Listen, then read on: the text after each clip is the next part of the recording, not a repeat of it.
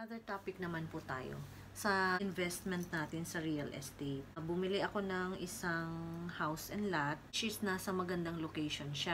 Isang subdivision siya na may sa opposite side ng gate supermarket pa lang tinatayo.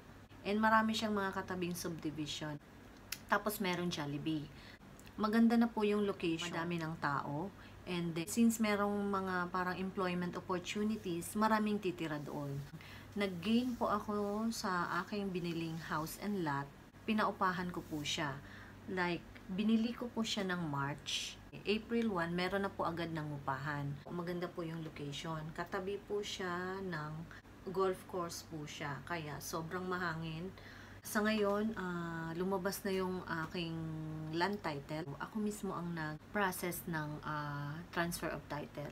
So, magandang investment po siya, proven. Basta lang may renter ka. Of course, kailangan po nakakontrata. May contract po kami talaga na pinapirmahan sa kanila uh, stating the rules na gusto mong i-implement doon. Uh, kasama na doon yung dapat uh, date ng payment. Naka-stipulate doon dapat uh, every fifth of the month bayad na sila.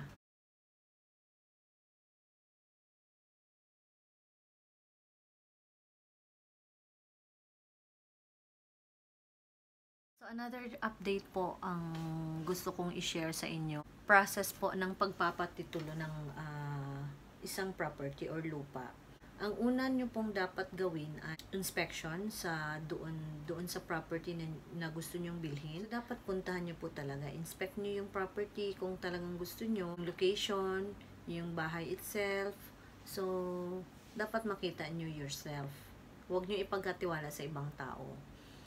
And the next thing is, verify nyo sa land registration authority, sa registry of deeds, doon po natin chine-check. Uh, dapat may copy ka po ng uh, kahit photocopy lang, land title ng property na gusto mong bilhin, i-verify mo po doon. Magfa-file ka po ng verification of land title. So, ang bayad po ay mga 200 pesos lang siguro or 300 pesos. Basta less than 500 pesos po siya. And after how many days, malalaman mo na po kung um, legit yung may-ari ng property. Isang tip po yun na pwede mong bilhin yung property. Huwag po kayong basta-basta maniniwala doon kung sino man yung may-ari ng bahay. Kasi meron po kasi minsan na do double, double jeopardy yung bahay. Meaning, iba yung may-ari, iba yung nagbebenta, pangalan ng nagbebenta. Dapat, kung gusto mong uh, hindi mas scam, kasi marami pong, alam naman natin na marami pong uh, manluloko ngayon, marami pong scammer. Para po hindi ka po ma-scam, dapat po yung pangalan, nakapangalan sa titulo ng lupa, ayun yung taong babayaran mo mismo. Except lang ko, of course, kung dadaan ka sa isang broker. Of course, hindi po talaga ganoon. Anyway, uh, yun po yung one way na ma-check nyo po yung legality ng uh, land title. Punta ka po sa LRA, Land Registration Authority, or sa Registry of Deeds. Doon mo po i-check yung kanilang uh, legitimacy na land title. And next thing is, dapat meron kang, aside from that, meron ka dapat copy ng kanyang mga bills. Like, so after mong ma-check niyan, so next step is, punta ka naman ngayon sa assessor's office. Titignan mo ngayon doon kung nagbabayad ba ng amilyar yung uh, may-ari ng bahay or real property tax. Kasi dapat siya yung magbayad ng real property tax. Doon mo malalaman kung hindi siya, hindi, hindi nakasubasta or active pa yung owner ng uh, property na yon kasi pag hindi po nagbabayad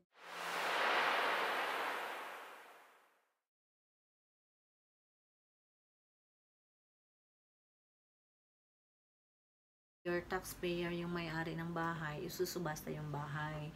So, dapat, regular yung pagbabayad nila. Doon mo lang malalaman sa assessor's office yon So, punta ka ng munisipyo, may assessor's office doon, magtanong ka lang, huwag sa fixer. Dumiretso ka sa kanilang uh, counter mismo. So, pag nalaman mo na doon, uh, of course, itanong mo kung anong mga next mong gagawin. Every time na may uh, ano sa'yo, oh, anong next? And aside from that real property tax, meron pang mga, mga binabayarang iba eh. Yun yung tinatawag nilang RPT. Parang 3,000 pesos yung nabayaran ng may, ba, ng may-ari ng bahay. And aside from that, mga ibang mga taxes na babayaran, eh, mautak yung matanda yung napagbilhan ko ng house and lot RPT lang, oo, yung real property tax lang yung gusto niyang bayaran. So, the rest, sagot ko na. So, yun, uh, after that, ba, kailangan i-settle down mo yun para ma-process. Kasi yun yung may checklist na ibibigay yung ROD sa iyo or Registry of Deeds kung gusto mo nang bilhin yung, yung property.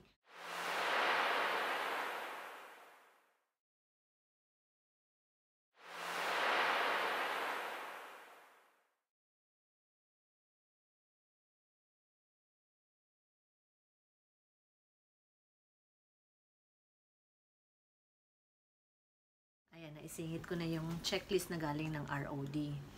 Matagal din ang process kasi pinrose ako mismo nag-process nung bakasyon. Para na naman makamura, sayang, dan, sayang din yung ibabayad.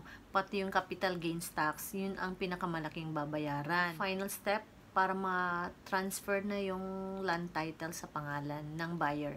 Anyway, susundin mo yung checklist, i-comply mo yung nasa checklist ng ROD, uh, doon ka magpa-process sa uh, most of the time nasa munisipyo ka or sa municipal hall. Tabi-tabi lang kasi din yan eh. So ready na for payment yung property, pwede kang magbayad sa harap mismo lawyer kasi gagawa kayo na a deed of absolute sale pala. Absolute meaning absolute totally zero, wala ka ng balance, deed of absolute sale. Ang isang kasulatan, pag bumili ka ng ano, ng property, pag hindi ka fully paid, deed of sale lang ang ibibigay sa'yo. Anong ibig sabihin nun? May kulang ka pa, may balance ka pa, may utang ka pa po. So, yun po ang ibibigay sa iyo pag hindi ka fully paid. Take note po, pag hindi ka fully paid, deed of sale lang ang ibibigay sa iyo. So, magkakapirmahan kayo doon. Hindi ko alam kung paano yun. Anyway, yung sa akin ay deed of absolute sale. Meaning po, fully paid na po yung property. Wala po akong utang kahit piso.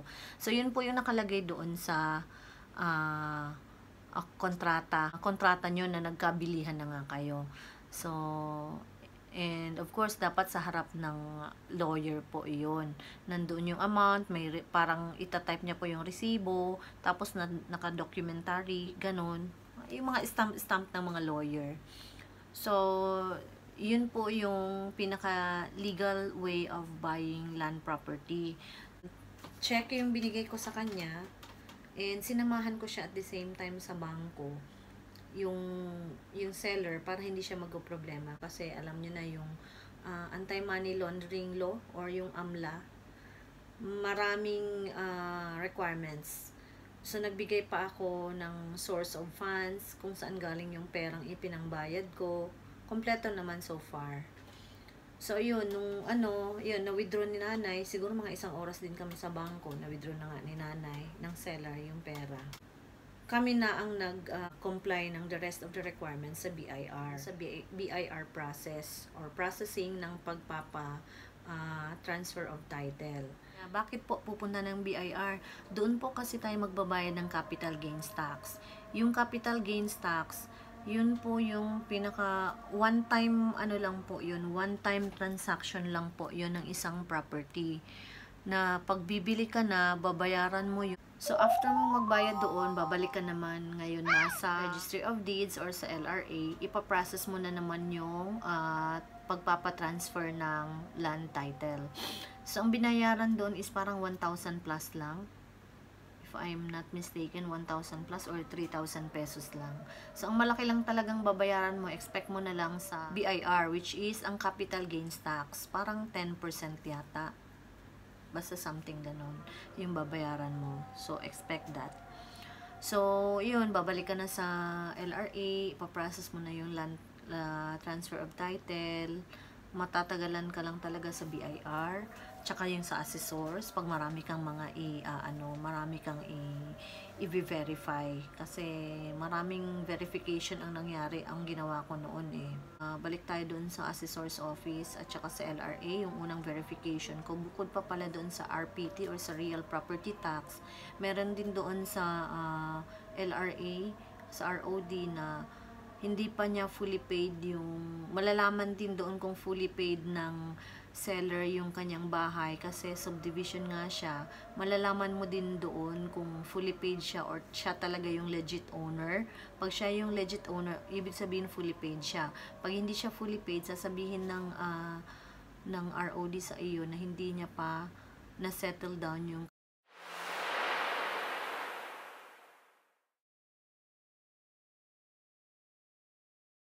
So, kailangan na settle down niya na.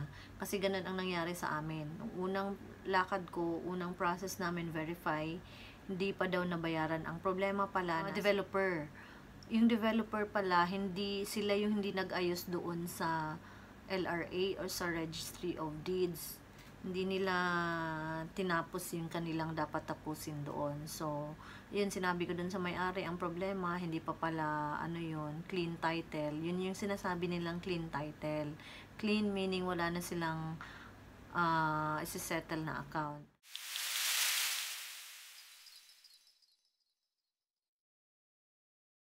So yun, nung sinabi ko sa seller na may problema pa, inasikaso nila agad, another one week na naman.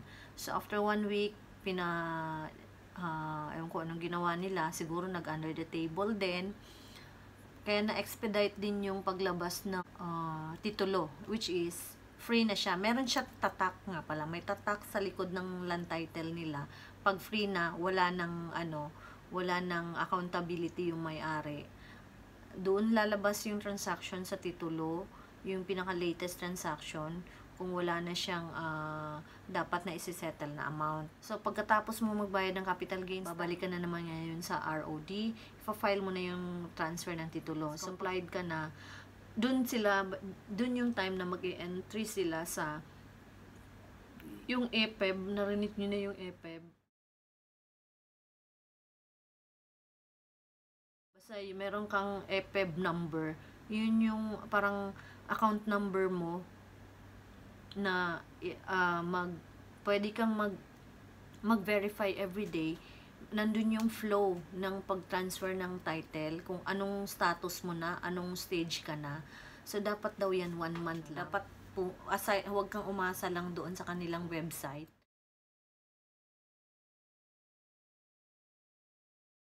Huwag kang umasa doon. Puntahan mo pa rin siya sa counter. ROD, sila pa rin yung repository ng original na land title. Yun sa atin, owner's copy lang yun. So, by the way, isang papel lang po yan. Ibig sabihin, ang original copy nasa ROD pa rin. There's only one way to, for you to know kung sino talaga ang may-ari. Sekreto lang po, magpunta ka lang po sa Registry of Deeds or sa Land Registration Authority. Doon lang po yung pinaka uh, agency or pinaka-office na pwede mong uh, malaman, tapos malalaman mo kung sino yung totoong may-ari ng property na yon. So, yun lang po ang tip ko sa inyo guys. So, sana nakatulong ako. Tip po yan sa atin kung gusto nyo po mag-invest sa isang real estate. So, thank you so much guys for watching this video. Hope you like it and don't forget to share this video. God bless you. Bye-bye.